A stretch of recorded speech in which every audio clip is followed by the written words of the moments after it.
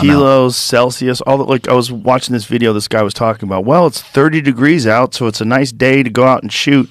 I was like 30 degrees. I was like, oh, he's in Canada. All right, okay, you communist using that bullshit metric Uh, system. they really are right now too. They are. They're full on. I never thought it would happen that fast. Bro, it's so bad. I'm worried that my podcast is going to be censored in Canada because they It's going just to. pass some new fucking legislation where they're allowed to. It- like the whole idea is like it's under the guise of Canadian content because they have a Canadian content law where they like you have to have a certain amount of Canadian based content on like the radio and television and stuff like that. You can't just have all stuff from all over the world, whatever people like. You have to have like a certain percentage of it has to be Canadian. And so, the, under the guise of that, but really, it's Trudeau trying to enforce censorship on podcasts because But they, they always do it in the cover, and, and every dangerous freedom censoring group does it under this idea of they're doing it for the greater good. Yes. You know, it's like whether it's diversity, equity, and inclusion, or it's making sure that um, pro, not disinformation or misinformation is be, is being populated within the masses. It's it's always through this veil of no, no, it's for your benefit. But you pull the veil back a little bit, and you it's just censorship. it's just control. Yeah, they're they're just trying to manipulate what information's uh, available for people to to try to base their opinions off of. Have you ever seen that video of Trudeau from like 10 years ago? I mean, it might have been from more. It might have been like 2010. And he's talking about how he's opposed to. Do you got coffee in there? Yeah. Salute, my friend. Cheers.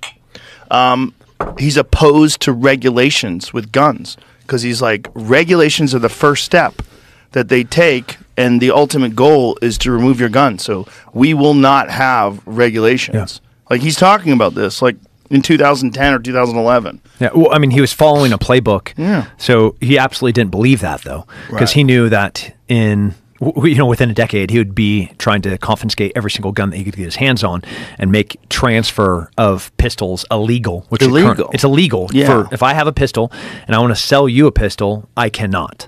That's it. It's so wild. It's so wild how quick it changed over there.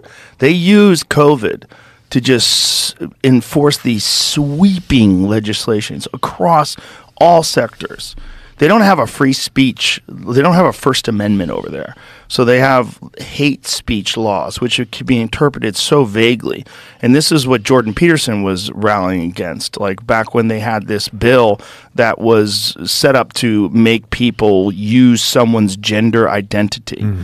And he was like, "What? What? What, what gender identity are you talking about? There's 78 current gender identities that someone can choose to identify with, including just complete nonsense, made up words, and you just, and it's going to keep going. I don't know how many of them there are now, but was like, the only way you enforce this is with you're going to have to use force."